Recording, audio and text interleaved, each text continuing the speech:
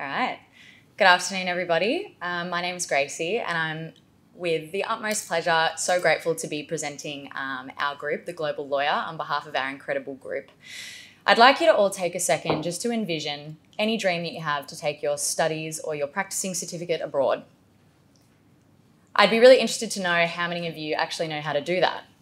We interviewed many students throughout um, Monash, um, both the Clayton and the CBD campus, and we wanted to know exactly how people thought they could do that. And a lot of people turned to us and they had a really common response. They don't actually know. There's a plethora of information out there about how students can take their practicing certificate overseas. But what exactly is Monash providing?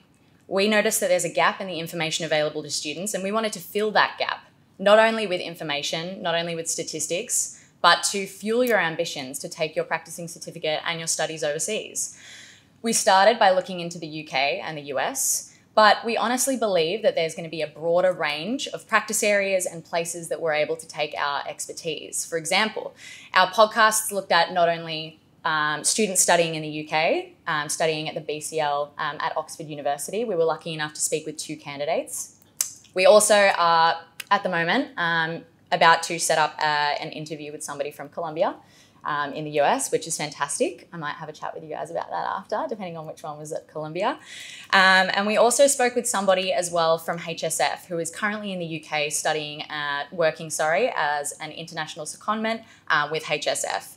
So we really wanted to present something that's going to be applicable to everybody here, whether you're into social media, whether you're into podcasts, or whether you're just into, interested in reading um, articles. We've published a broad range of articles as well as three different podcasts. We've also got two podcasts up and running.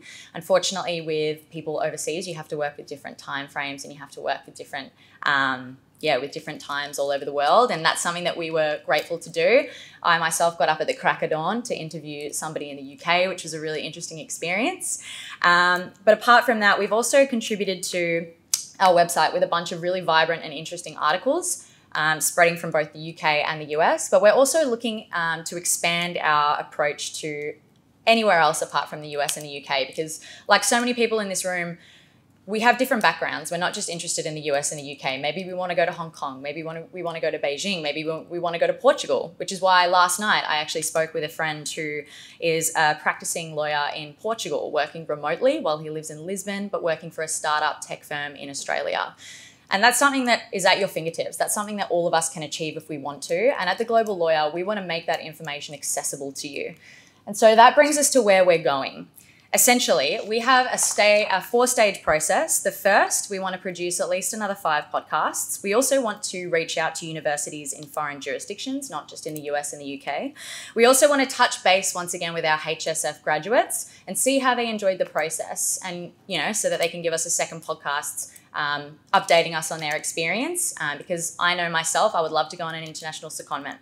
Secondly, we would want to organise networking nights with different uh, firms in Australia and in Melbourne that offer international secondments. So, if global travel is something that's important to you, we want you to be able to network and meet with people and firms that can offer that. That's something that you need to think of now. It's something that you need to work towards with clerkships and stuff like that. So, that's something to keep in mind.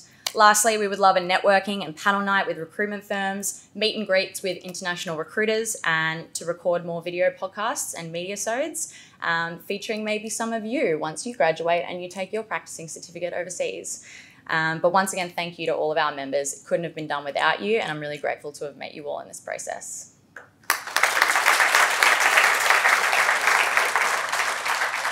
Thank you so much, Rosie. That was very powerful. I really love the way that you structured your arguments and your approach. Thank you. Um, I personally was the one that went to Columbia, Yeah. um, and it's a really intensive process. Mm. Like, I think that my question will really kind of go around.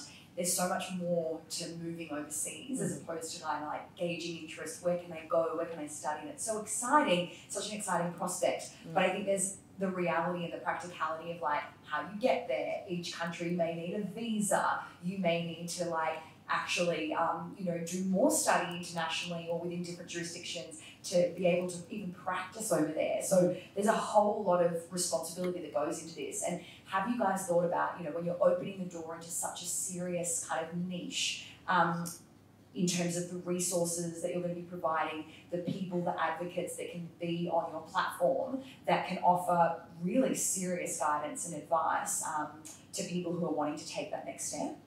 Absolutely. I believe that everybody really needs to be really well educated about these matters because it's not something you just want to have an ambition for. You need to get your finances in order. I'm 27 um, and I wish I had have thought about this when I was 21 because now I'm thinking I want to take my studies overseas. I want to, you know, I want to practice law overseas, but you need to think about not only visa requirements, you need to think about the length of time that you're going to be in different states, in different countries. So, in our podcast, we actually talked in depth last night, for example, in our um, Portugal um, interview, we talked in depth about the different visa requirements. So, for example, um, a D7 visa in Portugal allows you to be there for two years. Um, but the good thing about that is you get free access to the entire Schengen zone. And then after that, um, you have the option to renew for another two years. And then after five years, you can apply for permanent residency so long as your Portuguese is decent. My friend's is not, so that's something he will be working on, um, which he yeah enjoyed a firm reminder yesterday. But not only that, even our um, even our lawyers and our um, our friends that we spoke to at the BCL, they were able to shed some really important light on the visa requirements, the financial position that you need to be in, and also also the potential sponsorship um, and scholarship options. Um, but apart from that, we also want to get in touch with international recruitment firms because that's something that is pretty solid in Melbourne. We've been we reached out to a few different firms for um, like agencies that we would want to get in contact with for our next stage, so in 2025, and actualize that ambition of having meet and greet nights with recruiters who would be able to not only act as an agent for you if you want to take your practicing certificate overseas, but also advise you of the process, what your visa application is going to look like. Once again, the finances that you need to make sure that you've got in order.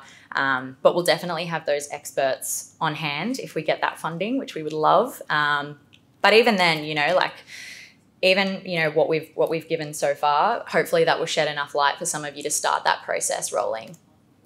Excellent response. Thank you so much. All right.